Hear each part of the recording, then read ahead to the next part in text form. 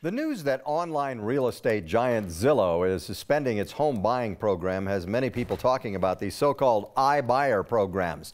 They allow you to sell your home without even going on the market. Zillow's CEO told investors last week that continuing to scale Zillow offers could result in uh, too much earnings and balance sheet volatility. Our real estate expert Lane Lyon joins us this morning with some insight on all of this. Lane is realtor and managing broker at Denver's Coldwell Blank, uh, Banker. Uh, good morning, Lane.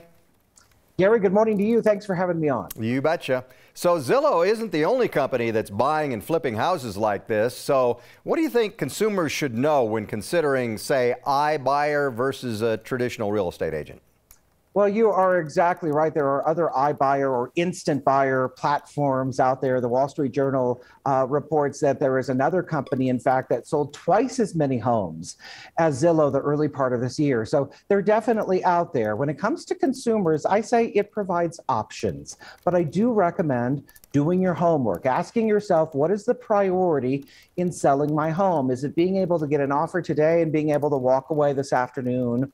Or is it about going after the highest price that someone is willing to pay for your home? Now, keep in mind, there's always going to be costs associated with selling your home. And the question to, to really look into is what are the costs for the convenience of an iBuyer cash offer compared to an experienced realtor coming in, knowing the market and the specifics of your home. I like to say, Gary, that houses are like people, we're all different on the inside. So, does that data driven algorithm offer really account for the uniqueness of your home? Maybe, maybe not. Take the time, I say, to, to put those numbers side by side. Take that instant cash offer, put it right up against what an experienced realtor uh, uh, analysis for your home, if you go on the market, is going to look like. Some companies offer both. I'm a fan of that. Do your homework. And really, it comes back to what your motivation is for selling.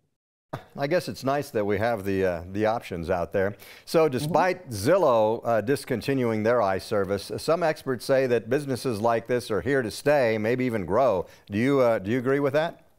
Well, the technology certainly is here to stay. We've seen that for sure. I am curious, though, to watch this because we know that the real estate market tends to change. Histo- uh, history tells us that. So, my question that I'm keeping an eye on is what happens when we shift to more of a, a buyer market, when homes are a little bit more challenging to sell? Keep in mind, these iBuyer platforms oftentimes turn these homes around and sell them right away. So, what are these cash offers going to look like when it's a bit more challenging to sell homes? Time will tell. But I can say, and you disclosed at the beginning, I'm a realtor. I think the traditional realtor model is also here to stay. Zillow, by its own accounting, says that the iBuying programs make up between 1% and 5% of homes being sold right now. So is it moving the needle? Eh, maybe a little bit. But again, it's all about providing options for consumers, which, you know, a little competition is healthy, Gary. I too think you're here to stay, Lane. Thank you much. Uh, thanks for having me on. All right. Appreciate it. Take care.